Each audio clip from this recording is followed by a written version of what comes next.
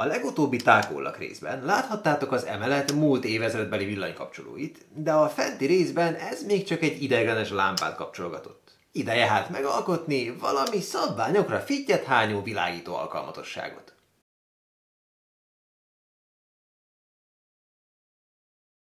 A CD Key Sales egy olyan weboldal, mely többek között hivatalos Microsoft kulcsokat is forgalmaz. Emellett játékkulcsokat is találunk itt Steam, Origin vagy Uplayhez, de akár egyéb PC játékhoz is. Sőt, még PS és Xbox előfizetést is. De lássunk egy példát. Szükségünk van mondjuk egy Windows 10 kulcsra. Rá is kereshetünk a webshopban, de biztosan feltűnt már, hogy a videó leírásában promóciós linkek vannak. Ezek közül rákattintva mondjuk a Windows 10 Pro OEM linkjére már is egy webshopba jutunk, ahol mindig valamilyen akció van, így veszek is egy kulcsot, és használom hozzá a WR25 kuponkódot, mely bár nem logikus, de 25 helyett 30%-ot lefarag a vételárból.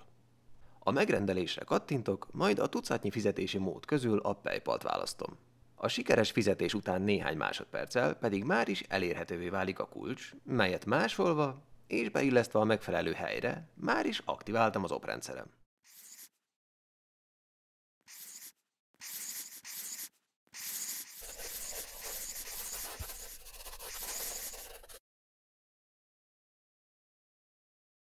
Ismét egy papírlappal indul a történet, de ezúttal kedves feleségem kezébe adtam a ceruzát, hogy rajzoljon le valami lámpafélét. Miután a kezemben volt a skic, jöhetett a műszakibb tervezés, melyhez a Fusion 360 ingyenes változatát használom. Szerencsére a korábbi lámpa modellje még megvan, így ebből az izzó is foglalattal együtt. Ennyivel is kevesebbet kell dolgozni. Mivel tervezni 2D-ben egyszerűbb, szükséges egy új skic síkjára rávetíteni a modell körvonalait. A vetítés modell esetében nem működik. De szerencsére van egy lehetőség, melyel egy tengely körül körbeforgatva kirajzolja a test profilját. Ez azonban csak egy fél skiccet ad meg, de egy tükrözéssel könnyűszerrel megalkotható a másik fele is. Bármennyire is energiatakarékos és ledes az izzó, valamennyi hőt azért csak termel. Így az offset parancsal meghatározok egy 5 cm-es biztonsági zónát, ahova nem kerülhet rajz, vagyis később anyag. A mit, miért, hova és milyen vonalat történetet most inkább nem mesélném el, mindössze annyi történt, hogy a skiccet alapul véve megkíséreltem kialakítani egy arra hasonlító, nem teljesen gömbölyű, de mégis a szemnek tetsző kerekdet formát. Mivel az egész épület stílusában nyomokban fellelhetőek a régebbi korok stílusjegyei, így a lámpa formájának kialakításánál is erre törekedtem, melyet szerintem leginkább az ék alakú lábak sugalnak. Akár csak a korábbi lámpabúra, ez is lézervágott bordákat kap. Ám itt nem kell túl sűrűre tenni őket, hiszen közéjük kitöltés kerül majd. A hat borda ránézésre jól fest, de valahogy túl sok a láb és egy kicsi olyan bombaformájúvá teszi az egészet. Így módosítottam, és inkább a minimálisan szükséges három lábat hagytam meg, a többi bordát pedig megcsonkítottam, és egy ívvel zártam le az alját. Ezzel az alapforma kész is, csak így még összedőlne az egész, így készítettem két nútot, melybe pontosan beleillik majd az alsó és felső gyűrű, vagy inkább diszk, ami majd egyben tartja a vázat.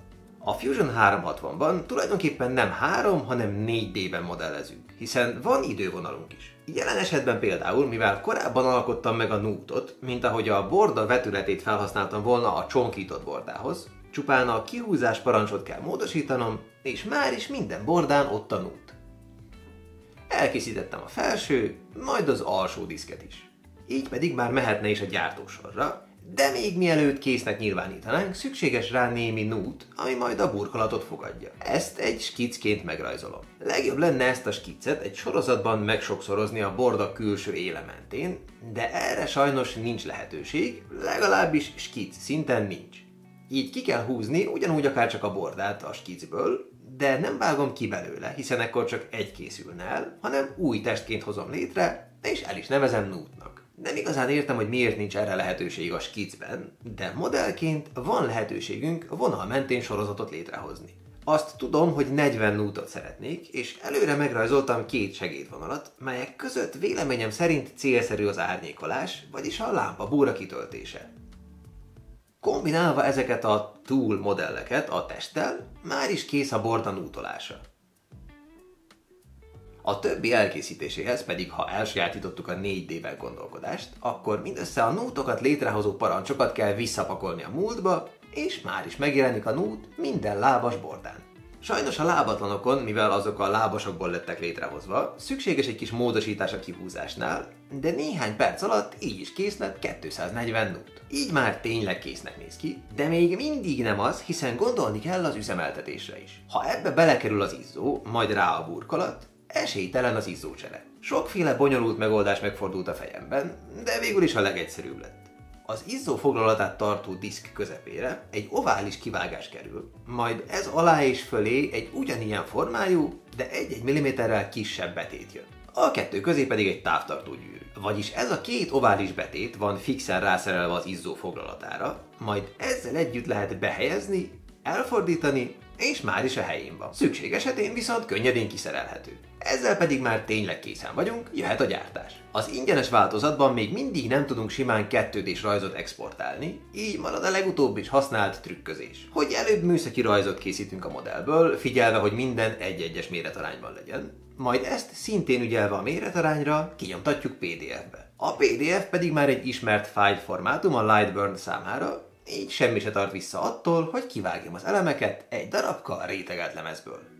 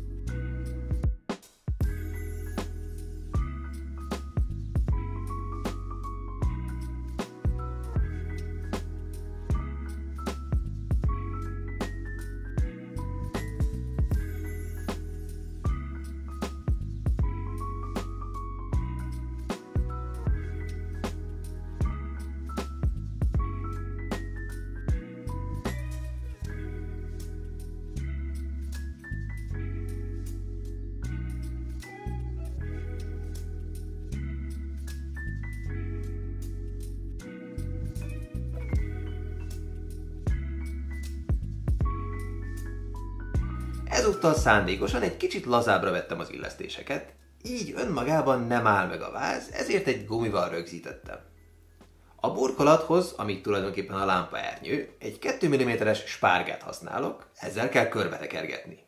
Nyilván a mintázatnak csak a fantázia szab határokat, körbetekergetni viszont eléggé babra munka, főleg ha az ember még mintát is akar bele, mert akkor még számolgatni is kell. Körbetekergetve már van egy hangulata, de szerintem szőt felületként, vagyis ha egyik szál a másik alá fut, jobban néz neki, így ez csak az anyag hosszának meghatározása volt, hiszen az egész spulnit nem tudom átfűzni a szálak között, szóval le kell tekerni róla.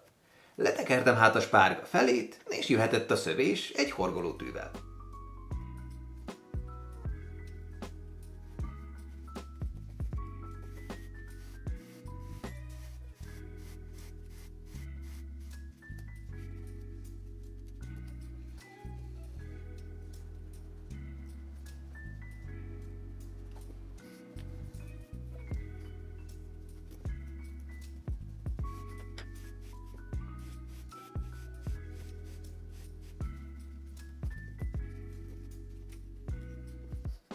Ez egy igen időigényes folyamat, szóval inkább ugorjunk.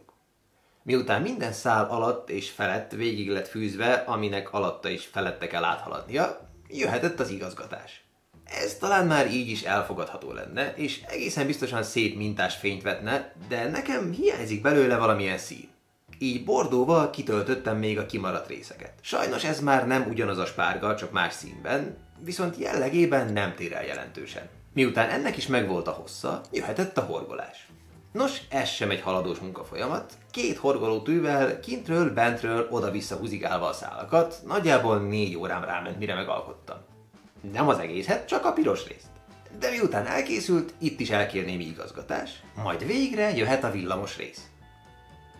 Igaz, manapság is kapni ilyet, de ez a vezeték eredeti régi raktárkészlet valamikor 40 évvel ezelőttről.